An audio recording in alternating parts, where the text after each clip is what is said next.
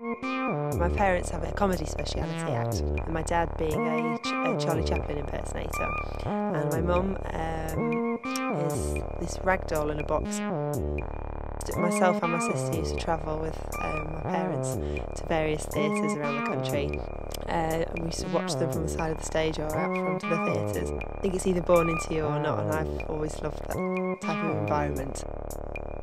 Hi, I'm Richard Wiseman. I devised and presented the Inexplicable Act series here at the Wellcome Collection. And in this video, we're looking at the remarkable skills of Delia du Sol. Now, Delia is one of the UK's top contortionists. She can bend her body into amazingly impossible looking positions.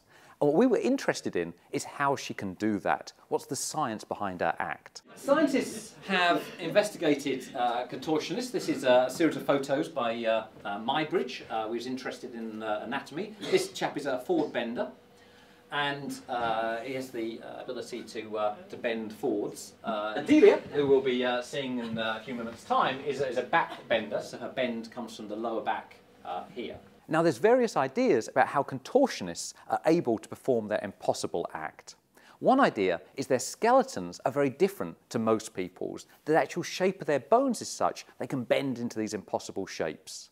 The other possibility is it's all to do with the ligaments, the soft tissues which are connecting the bones together. So to find out what was going on, we asked Delia to have a rather special MRI scan. We placed her inside what's called an open core magnet and asked her to perform some impossible back bends.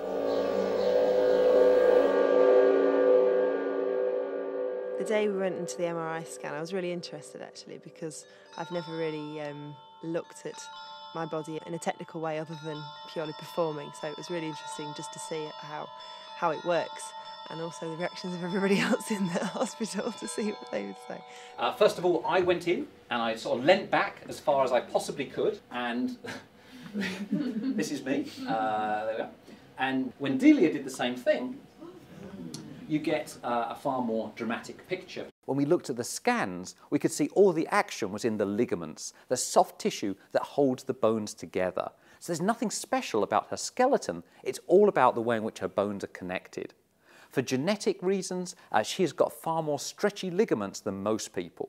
But she's also trained really hard. So from about the age of eight, she's been bending into these impossible shapes, pulling those ligaments to make them as flexible as possible. So the reason that contortionists can perform the impossible is all to do with the ligaments, the soft tissue holding the bones together. Their skeletons are absolutely identical to your skeleton and to my skeleton. And I thought it'd be kind of fun uh, for you to assess how bendy you are before you see uh, Delia. And the way we're going to do that is with the standard bendiness scale.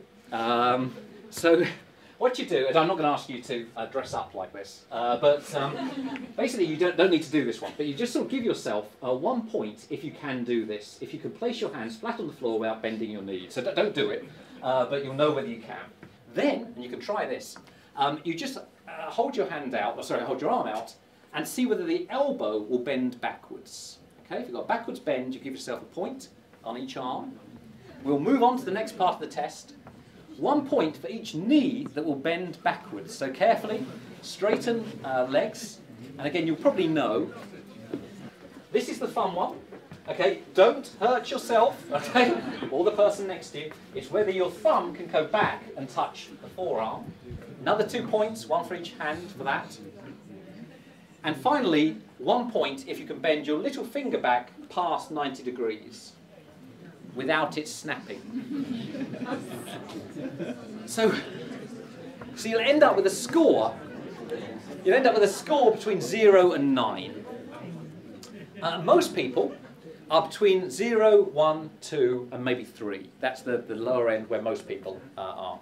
4 or 5, 6, that's a, a kind of towards hypermobility, but not fully there.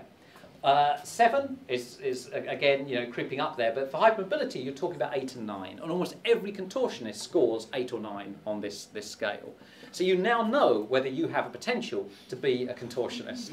And if you're up an eight and nine, it's just that you're not practicing. That's all it is. It's as, simple uh, as that. I don't think it feels strange. It just feels, it just doesn't hurt at all. It's like um, it's like a numbing feeling, really. Are you running the risk of damaging your body with arthritis? I don't. That's a question for Richard. Really. Yeah. I don't think. No, the evidence is I the opposite. think so, yeah. Oh, really? that actually, yes, yeah. Um, contortionist, providing you're not doing that extreme backbend, and, and there's very recent finding about the wearing away of the spine, uh, actually they're, they're extremely fit individuals. And, and so uh, Delia, for the most part, is, is holding her body together with muscle. Uh, and, and so that's, that, that's kind of a good thing in terms of, of, of health. So yes, the, the studies show that actually it's, it's a good thing to be doing, and there no, those kind of later life arthritis problems. If I am performing on a stage, then I get adrenaline, and the adrenaline really helps to become more flexible, more than you would ever think. So if I was warming up backstage and I was to do a particular trick and then go on the stage, the extreme of the flexibility on the stage would be a lot further than it would be in the in the dressing room.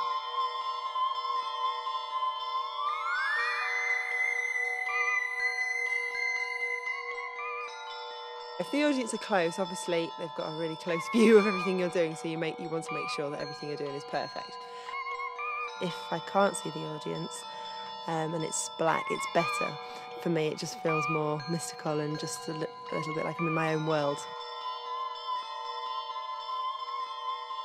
And that's the science behind Delia du Sol and the amazing and unusual anatomy of the contortionist.